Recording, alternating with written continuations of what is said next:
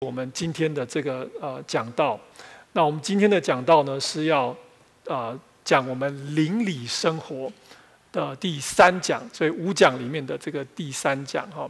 那在第一讲里面，我于牧师他提到了一个啊很重要的一件事情，就是什么？在我们基督徒的每一个基督徒的心里面，都会有一件事情。这一件事情是什么呢？是。哦，发生在我们心里面一个很奇怪、很特殊的一个拉扯。我们来看一下加拉太书里面的经文是怎么说的。我是说，你们应当顺着圣灵行事，这样就一定不会去满足肉体的私欲了。因为肉体的私欲和圣灵敌对，圣灵也和肉体敌对，这样两样互相敌对。使你们不能做自己愿意做的，这是每一个基督徒的心里面都会产生的一个挣扎，都会有的一个这个征战啊。那保罗在这里所提到的这个肉体呢，不是指说我们这个生物的这个肉体，是指什么？我们灵里面的那个罪性，或者是我们灵呃这个罪。在我们身上的这个影响力，叫做保罗这个这个肉体。那如果我们要打赢这场仗，我们就必须要来倚靠圣灵，要顺着圣灵而行。哦，圣灵会带领我们。那这个系列就是要来帮助我们如何来更多的来顺从圣灵。那我们今天的主题是什么呢？圣灵要透过一件事情来帮助我们，就是进食啊，进食不吃东西这个进食。那这是一个非常现在很流行的一个话题。如果你不知道的话，你随便上网打一打，你就查这个进食还是断食还是断食疗法间歇性的这个断食，哇，你打很多文章。很多这个 YouTube 的这个呃影片非常的多，琳琅满目，你看不完。那这些大部分是什么呢？这些应该都是为了啊健康的这个关系，为了减肥的这个关系，所以很多人在做这个事情，很多人在尝试的。哦，就连包括什么呢？十年前曾经有一段时间非常流行，我记得啊，叫做体内排毒啊。然后呢，就是只喝果汁或者只喝蜂蜜柠檬水，就这两样而已啊。或还有当然还有一般的就是开水啊。然后呢，就这样子，然后你就可以撑个好几天，然后就进行所谓的体体内排毒。我个人也跟人家一起赶流行，我也试过啊。那也还算有效了，大致上有效。就连包含我上个礼拜我在教会办公室里面楼下哈，我只是在茶水间跟这些美国同工在那边聊天，不知道为什么就有人提到说这个间歇性的这个进食，哇，大家就开始讨论起来。然后他说：“哎，我也试过，我也试过，哎，我现在正在试，哎，这个什么有效，那个没效啊，讲很多。所以你看，就是很多人在做这个呃呃事情。”所以真的蛮流行的，就包含我们在呃分享这个系列说，哎，这个邻里生活系列第三讲是进食，这是两个礼拜前我们跟大家讲过，对不对？然后呢，就有一个美国弟兄，他就非常的心血来潮，然后就迫不及待的、很高兴的，就写了一封信给教会啊，主要当然是给这个 Pastor Chris，我们的主任牧师 Chris 牧师哈。然后呢，他说了这封什么呢？结果这个。呃，Chris 牧师就把这封信的内容跟我分享，我就把它翻译了，我一部分翻译哈，我就念给大家听。这是那位弟兄说的：“我是一位威斯康星大学附属医院的初级医疗医生。当我听到你要讲进食这个题目时，我非常高兴。进食在现代医学中往往被负面解读，但是其实我在过去一年中发现，原来进食对人体健康有非常大的好处。”我现在是进食为追求健康的基本训练，而我目前正在正式的研究进食。我要表达的就是，进食是很有很多科学根据的，有不少现代医学单位是非常支持进食的。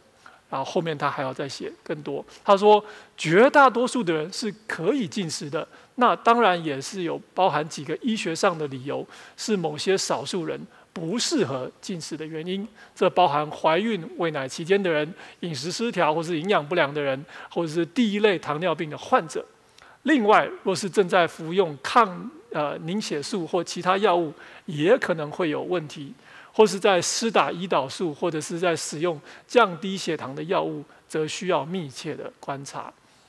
再来就是进食的期间，一定要不断的补充水分。好，所以这个是 Dr. Philip Zimmerman 哈，这位弟兄，他是威斯康星大学的医学院的教授，他写给我们的一封信。很健康，感觉很好，对不对？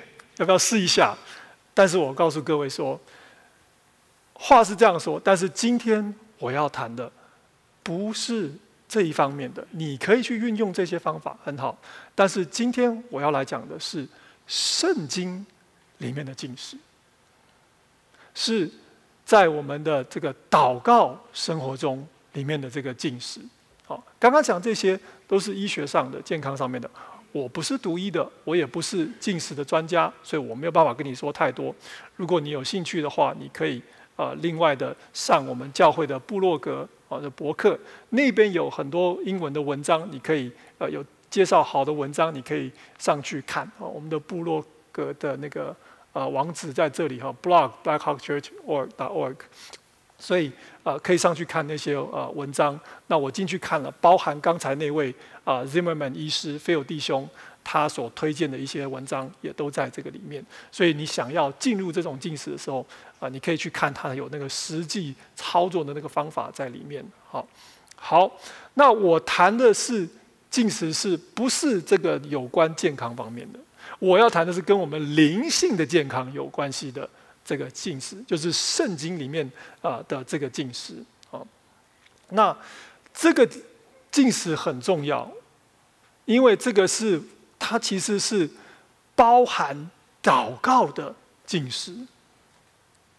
祷告进食祷告是什么？帮助我们的灵性能够成长啊的重要方法之一。进食是什么？神给我们一个非常好。的一个防御性的一个武器，它能够帮助我们来抵挡，抵挡什么呢？抵挡那个抗拒那个我们不断的想要更多的那个欲望。我们先要了解到什么？圣经对于这个进食的这个教导。哦，进食不管是在新约时代，或者是在教会整个，我们看。两千年的这个传统里面，或者是你甚至到更早以前旧约的时代里面，犹太人这些习俗习惯里面呢，一直它一直都是一个不变的、不断的被教导、不断的被操练的一件事情。那我们在圣经中，可是你不会找到一段经文说：“哎，啊，你要进食，因为一二三四五六七这样的原因，没有。”没有这样明定说进食的原因。你翻开圣经里面，不管是新约，不管是旧约啊，它都是告诉你什么？你进食的时候要怎样怎样怎样怎样怎样怎样，而不是你为什么要进食？因为当时在当时进食是理所当然的一件事情。我们看主耶稣他怎么讲，他在说的时候就是你进食的时候要叭叭叭叭叭。他不是说，如果你要进食，那你要怎么怎么做？是当你进食的时候，你要这样做。所以他是视进食为理所当然的一件事情。好，那我们知道说，圣经啊提到进食这件事情，总共有超过七十五次。那有三分之二是在旧约里面。但是我们在看这些七十五个地方的时候，我们就来了解进食，发现说，哎，进食其实还蛮多种的，它的时间的这个长短哈不一。比如说什么，我举几个例子，大家可以看啊，有这个一天的，有三天的，有七天的，有四十天的。那当然最厉害就是摩西、以利亚还有耶稣，哇，你看到他们进食祷告四十天，意思是什么？只喝水四十天，啊，那你就想说，哇，这个是不是啊啊？怎么这么厉害？啊，那我们知道说，人的人体大部分的人，其实如果健康的话，啊，只喝水四十天还是有可能的，除非是，当然不是营养不良的人，当然是不行，啊。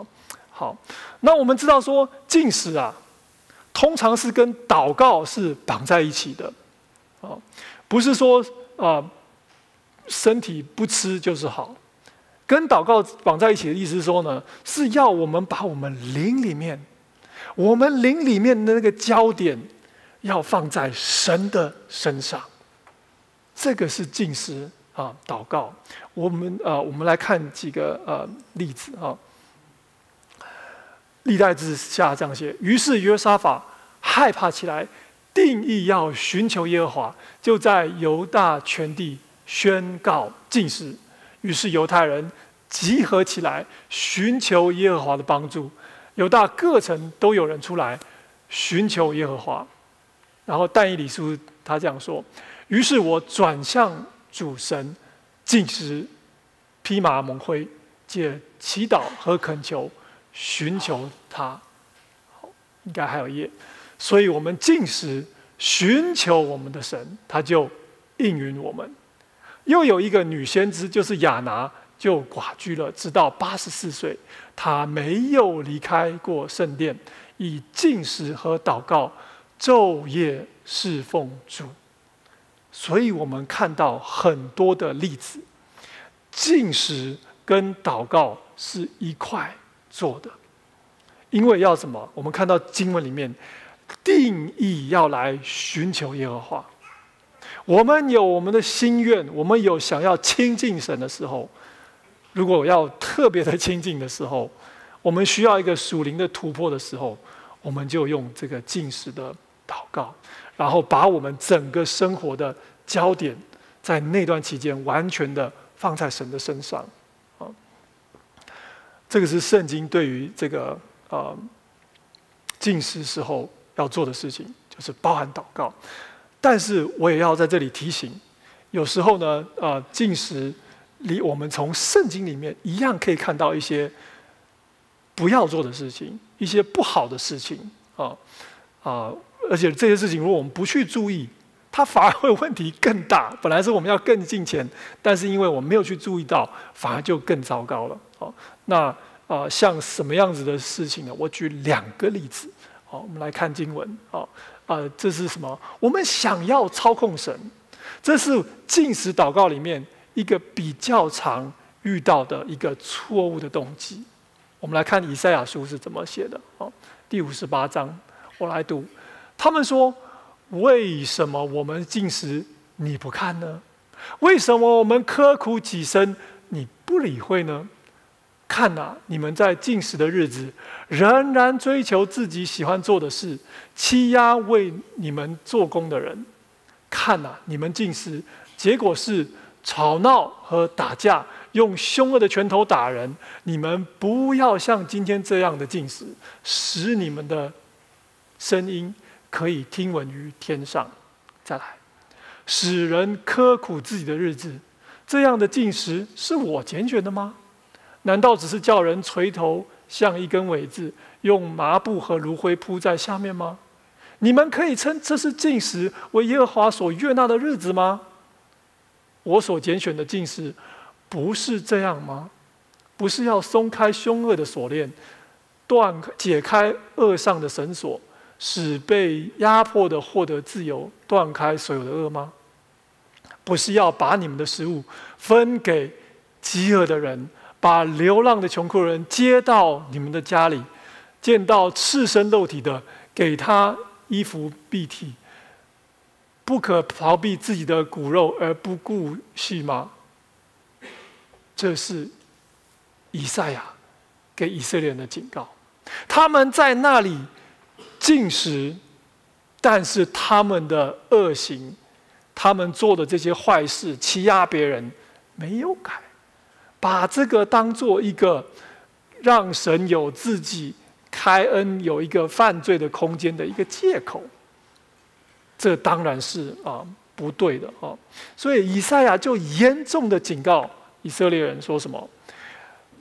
不要有这种两面人、这种伪君子的这种啊心态啊。我们不是用进食祷告来换取神允许我们做不讨他喜悦的事情的空间，这不是一种交易。我们不能把金石拿来这样用。第二点啊，是故意让别人来看到我们。的灵性好像很好，啊，这就叫做属灵的自我炫耀啊。那应该说向别人炫耀。我们看马太福音啊，你们进食的时候，不可像伪君子那样愁眉苦脸，他们装成难看的样子，叫人看出他们在进食。我实在的告诉你们，你们已经得了他们的赏赐，可是。你进食的时候要梳头洗脸，不要叫人看出你是在进食，只让在隐秘中的父看见。你父在隐秘中查看，必定报答你。这段话是主耶稣在登山宝训上说的，他特别交代门徒说：我们千万不要像。当时的这些宗教的精英一样，做那样虚伪的伪君子，要进食怎么样？就要隐秘的、秘密的来进食。你看，呃，第十七、第十八节，耶稣特别强调，不要叫人看出你在进食，不要让别人根本察觉不到，哦，好，不然的话，就是好像在表现自己多。呃，敬钱一样的啊，所以就像这两节经文说的，进食是怎么样？是我们和天赋之间个别的一个关系，你知道，天赋知道就好了。所以我们进食的时候啊。要什么？他有说什么？梳妆洗脸哈。那如果换作是今天的话，就是说，好像什么？你进食的时候，不要在那里自拍，嘿嘿，今天完成一天进食，今天我只喝水，只喝果汁，然后抛到社群媒体上面，大家很开心，然后说哇，你好进钱，对不对？或者是抛到脸书、抛到微信上，不是这个用意啊，不是要拼命去呃秀给人家看啊。但是。呃，话又回过头来说，要完全不让人家知道也蛮难的。为什么呢？因为第一，你的家人一定会知道，因为你没有吃饭，你可能不会出现在餐桌，或者是你出现在餐桌，但是你的碗筷完全不能动，那就很痛苦，就一个人在那喝水。哦，所以你的家人是一定会知道的。那没有关系，家人会知道。OK，所以这点请放心。但是。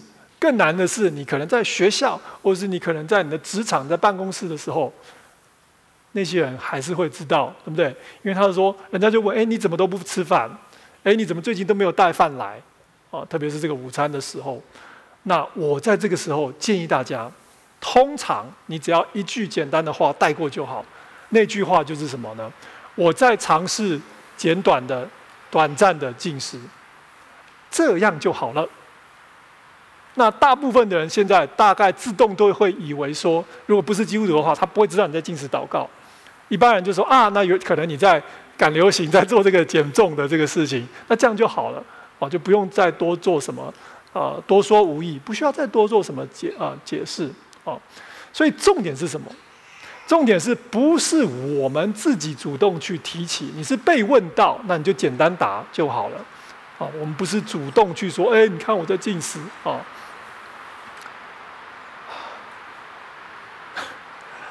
接着，那我们要进入呃，更接下来一个题目是：我为什么要进食？进食的主要理由是什么呢？啊，我们看第一点啊，进食帮助我们来抵挡不断想要更多的那股欲望，这是我们人都会难免有的这个欲望。这个世界。他的声音是告诉我们什么？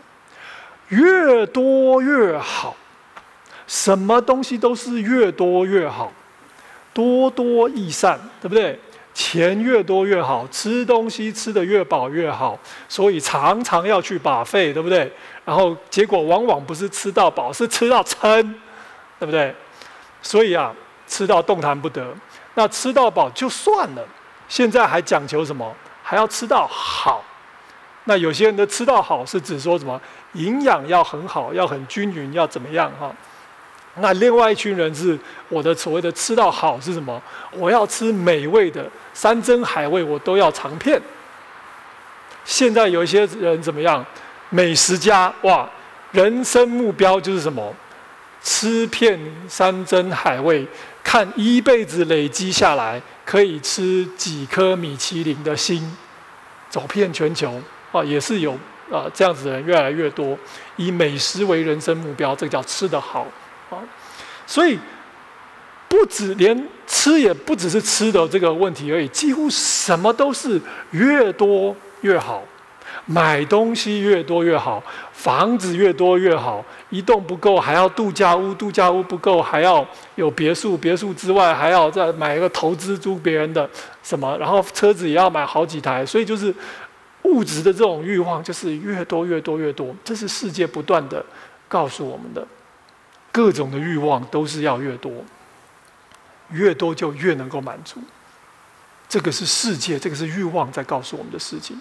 但是事实上，哪怕你真的得到了，你真的拥有了很多，可是呢，并没有比较满足，对你的幸福、对你的快乐，其实没有多大的帮助。就算有那个一点点的那个满足感，那是非常短暂的，不是吗？没有比较快乐或幸福。哦，那进食的功能就是帮助我们能够打破这些谎言，来抵挡这些不健康的欲望，甚至是贪念。进食的第二个理由是帮助我们抵挡身体是与灵魂无关的这种错误观念。这种观念好像在告诉我们什么？身体是身体，然后灵魂是灵魂，这是完全两回事。这是什么？生活上的一种所谓的这个二元论啊！好像我们星期天我们参加教会或者是任何的聚会的时候，哎，这个是灵性方面的事。然后我们的其他天，我们不来参加聚会的时候，我们在工作，我们在上学，我们在干嘛？这些是什么？身体上或者是我们一般生活上面的这个事情，这样子分。就连世世界上我们很多的这个哲学啊，特别是这个呃古代的这个希腊的这个哲学，以这个柏拉图为最具代表性的，他也就是认为说怎么样呢？身体跟灵魂呢是两回事，应该要分开。所以他们认为是什么呢？是死是一种解脱，哎，解脱什么？因为身体是吃喝拉睡的这些，呃，还吃喝拉睡，还有性，哦，这些都是很邪恶、很低贱的事情。所以身体如果有一天可以离开这个罪恶、邪恶的这个臭皮囊的话，哇，那就真正的自由了。这是希腊哲学家他们相信的，这也是这种二元论。但是。圣经不是这样子告诉我们的。圣经告诉我们是什么？身体跟灵魂是至少目前哦，是一定是一致的，是要密不可分的，是会互相的来影响的哦，而且都是需要圣洁的。所以进食对我们是一个非常好的提醒，是什么呢？是提醒说什么？我们身体很重要，灵魂也很重要。甚至是更啊重要。我们看耶稣啊，耶稣在那里进食祷告，他受试探的时候是怎么样的一个情况？我们来看路加福音第四章，耶稣被圣灵充满，从约旦河回来，圣灵引他到旷野，四十天受魔鬼的试探。那些日子，他什么也没有吃。日子满了，他就饿了。也魔鬼对他说：“你若是神的儿子，就吩咐这块石头变成食物吧。”耶耶稣回答：“经上记着，人活着不是单靠食物。”哇，很多人你觉得，哇，耶稣好厉害，可以这个四十天不吃任何东西啊？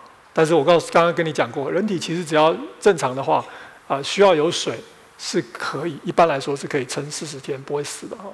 好，这段经文很精彩啊，各位，你看到圣灵，你看到耶稣，你看到魔鬼，哇，同时出现在同一个场景。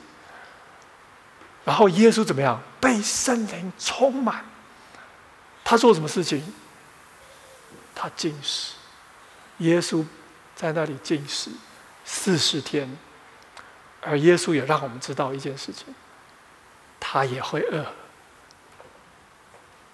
耶稣同时具有人的身份哦，他是会饿的，所以让我们知道什么？身体其实也是重要的，也是需要顾的哦。但是他进食四十天的这个意思是什么？是他看灵魂比身体更为重要，所以他才可以暂时的把吃喝放到一旁去，然后怎么样专心在神的身上。这是耶稣透过这四十天要做的事情，他专注在神的身上。所以，当魔鬼试探他的时候，他就可以完全的不偏不离的把神的道讲出来，而且把神的道行出来。他在宣告一件事情，就像我们的身体需要食物的，但是耶稣说，我们的心灵需要神，我们灵里是何等的需要神。而神的话，就是我们灵魂的那个粮食。我们需要常常的吃，吃下神的话，我们的灵里才有营养，才能够有力量。这个力量呢，是大的。进食祷告的力量是大的，这个是属灵领域当中的力量，是让我们。大有信心的力量，这个力量不只是什么，不只是一个防御性的武器而已，它也是同时具有攻击性的。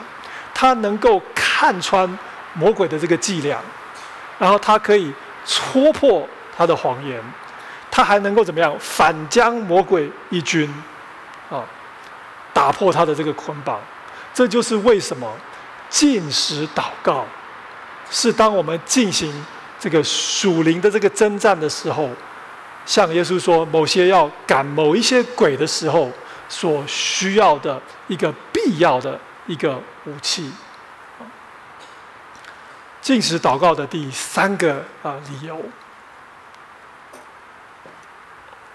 能够抵挡我够坚强，我不需要神的错误观念。在进食的当中。或者是进食之后，我们会感到饥饿。这告诉我们很简单一个道理：我们不过是一个很渺小的人，不是超人，不是神仙。这样让我们能够谦卑下来。我们既需要食物，我们也需要神。这是事实啊。进食祷告的第四个理由是，能够抵挡我要不断的追求快乐满足的欲望。进食的时候，很明显的不是一个在享受人生的时候。谁饿肚子很享受？没有啊！大吃大喝，宴乐，吃个痛快。那是享受，但是进食对我们来说是很好的提醒。说什么？人生不是一帆风顺，也不是一味的在那里追求享受、追求快乐。旧约的约书这样子告诉我们说什么？我们看一下，耶和华说：“现在虽然如此，你们仍要全心全意以进食、哭泣、哀嚎归向我。你们要撕裂你们的心肠，不要撕裂你们的衣服，并要归向耶和华你们的神，因为他有恩典，有怜悯，不轻易发怒，且有丰盛的慈爱，随时转意，不降灾祸。然后我们还看得到。旧约里面像这样的经文好几处，我简单的给各位看一下《萨摩尔记下》。你们为了扫罗他的儿子约拿丹，耶和华的子民以和以色列家的缘故，悲哀、哭泣、尽食，直到晚上，因为他们已经倒闭在刀下。接下来也是一样，哭泣、悲伤、尽食、祷告。应该还有一页啊。哀哭尽食，直到晚上。所以我们看到，这么多的地方，我们看到进食跟哀哭这两件事情是常常绑在一起的。那是因为发生的不幸，那是因为罪的关系。以色列人的罪达到了神的面前，所以他们就。遭受很多的这个苦难，所以我们有时候也要学习以色列人这样子，为我们的罪在那里哀哭。所以我们要懂得享受，我们也要懂得为我们的罪来哀哭、难过、感谢神，忧伤痛悔的心，主必不轻看。神会饶恕我们，神会医治我们的心。最后，啊，我的结论是：我要来呼吁，我要来鼓励弟兄姐妹，我们一起来操练进食的祷告。有时候你会不会感觉到说：“哎呀，为什么我最近好像属灵的生命一直停滞？”为或者是为什么说，哎呀，为什么我这个人总是不喜欢祷告，或者我根本就是很少祷告？为什么哪或者是有祷告也没什么活力？我的信仰生活老是一个卡住的一个感觉，就算祷告也都提不起劲。是不是我的脑脑子里常常都是这个世上的这个繁琐的事情，都是一些烦恼？那我的心思是不是整天都很忙乱？这是不是我们有时候的这个状况呢？进食祷告，帮助我们，让我们怎么把焦点聚集在神的身上？神要透过进食的祷告来点燃我们心中对于祷告、对于他、对于神本身的这个火焰，然后眺望我们对他的那个爱慕。渴慕，在进食的祷告当中，神会赐下属天的能力，在我们的灵里，让我们的灵里面更健壮，然后让我们这个灵里面的眼睛有这个属天的眼光，可以看得更高、更远。在近视的祷告当中，我们效法主耶稣。主耶稣说什么？我们再看一次阿，太福音。人活着，不是单靠食物，更要靠神口里说出的一切话。我们打开我们的心灵，我们吃下神的话，神话语中的能力就进到我们里面，神就将他他要赐给我们那个胜过世界。对抗那个邪恶势力的那个能力，让我们吸收进来，所以圣灵就能够更多的充满我们的心，我们就更能够行出神那善良、纯全、美好的旨意。我们一起祷告，亲爱的主，谢谢你，谢谢你怜悯我们。谢谢你知道我们的软弱，所以你赐给我们尽是祷告这样美好的操练，一个这样子强大的武器。主啊，恳求你帮助我们，让我们能够抵挡那想要更多的欲望。主啊，让我们的心思意念来归向你，让我们的整颗心来归向你，来天天为你而活。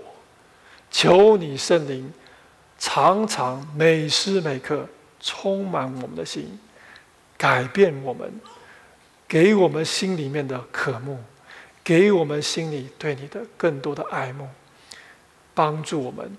谢谢你，我们紧紧抓住你的应许，祷告感谢，奉耶稣基督的圣名，阿门。